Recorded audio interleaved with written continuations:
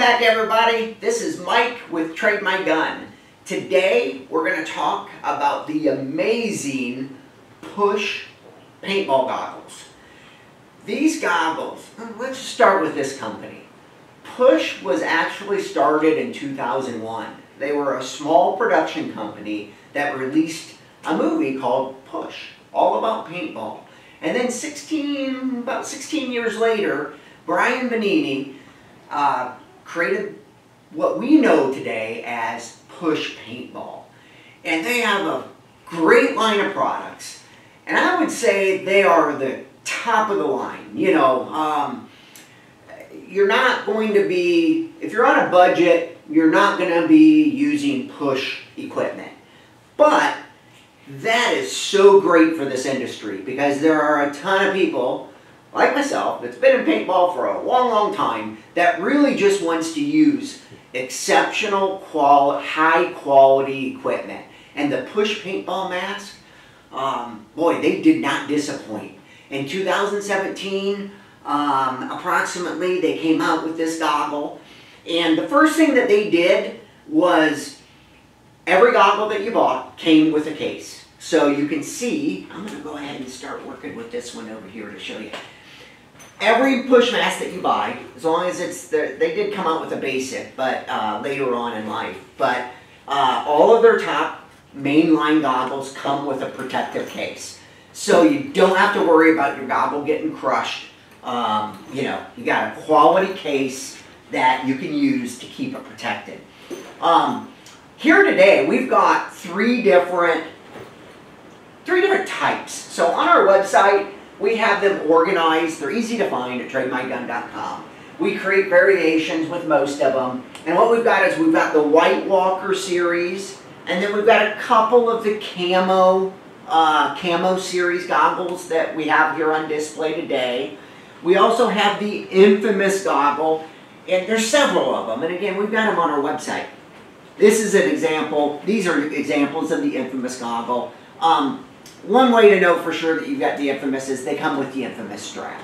So you can see that. Um, super, super hot. This is a very, very popular design. And then you got the Hermesis gobble over here on the end, which again, we've got them on our website. So let's go through some of the features on these. And, uh, you know, talk about, um, talk about why these sell for in the 220 to 250 dollar range. And you know, I talked about the one right away is the case. You get the case that comes along with every goggle that you buy, which if you buy that separately, you're going to spend 40 to 50 dollars for a goggle case. So there you go. That gets you down right away to kind of a normal price high-end goggle if you didn't get the case. But there are so many features with this goggle that just makes it stand out from the rest. Um, they were the first ones, feature number one, they were the first ones to come out with the magnetic chin strap. Oh my gosh. Many of you will remember the days when uh, first thing you did when you got a mask was you cut the chin strap off because you didn't want it to get in the way. Well, that all changed. You know, all the all the tournament series now they require you to use the chin strap. Um, rightfully so. It keeps the mask on your head. There were some accidents that happened that uh, changed that and made it a requirement. Um, tournaments, any national tournament is going to require any regional tournament is going to require and hopefully local tournaments are requiring a chin strap as well. So with this one, it's super easy to put on. Look at that. You just snap it on. I mean, it is so cool. Easy to take off and easy to put on. So the chin strap was the number one thing. Those have come out now. Other companies kind of copied them and came out with some, but they were the first ones to bring that out. Um, they also have an adjustable nose bridge. So with, in addition to the case, you're going to get this tool that will come with each one of these.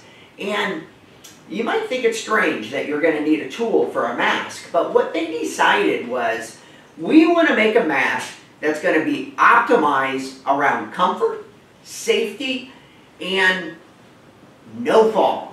That is the biggest complaint that anybody gets is when you have a foggy lens. So what they figured out is, is that this bridge, how the bridge fits over your nose is extremely important in preventing your lens from fogging.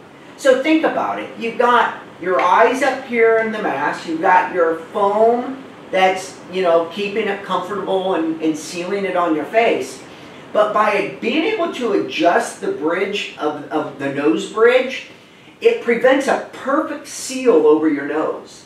Well, what does that do? When you're breathing hard and playing and you've got hot air coming out of your nose, if you've got a gap and hot air, hot air rises, guess what? It rises. So by sealing that off, it keeps the air down, and your mouth, of course, is down below. So it keeps all of the hot air from rising up into the lens chamber. Genius. And uh, so they decided to do that. We're going to create a technology where we can adjust that nose so that depending on the size of your nose, you can adjust it. All you do, stick it right in this hole and you can make the adjustment and then you can seal it off. That is so important. I just can't express it enough. If you, you know, if you have a push mask and you're not using that feature, um, you know, start using it because it will work. Keeping that air down and keeping it out of the lens area is so, so important. So the adjustable nose bridge, super, super cool, uh, innovative technology that actually um, is providing a super important function. Um, the other thing they have is their lens system. They have a quad layer lens system. It's optically correct uh, in a big field of vision. Um, they have strategically designed 16 different vent zones.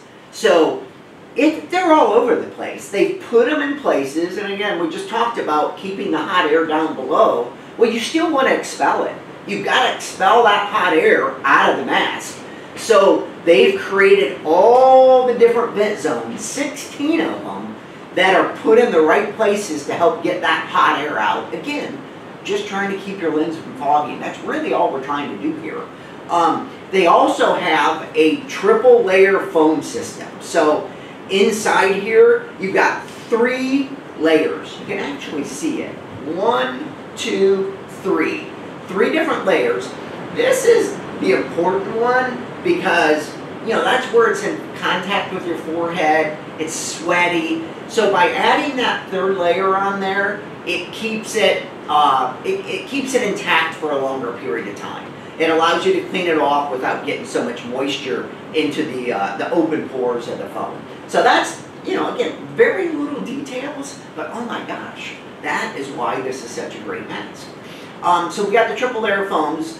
Um, strap, let's talk about the strap. Well, we don't want it to come off our face, right? We want to keep the mask on, and to do that, what they came up with was they put silicon strips on it. So look on the inside of the strap. See these little squiggly lines? That's silicon. That keeps it secure to your head. Um, so, you know, in summary, I just want to kind of conclude. I kind of hit those highlights of the main features and benefits of this mask. Of course, you get the case. We've got the magnetic chin strap. Um, we've got the adjustable nose bridge. We've got the triple layer foam. We've got the 16 different ventilation layers. We've got the silicon on the back of the strap. And we've got the quad lay, quad, you know, four different layers in this lens. So I hope you enjoyed our video today. So if you are someone like myself that likes top-notch quality products, push, the Push Mask might be the product for you.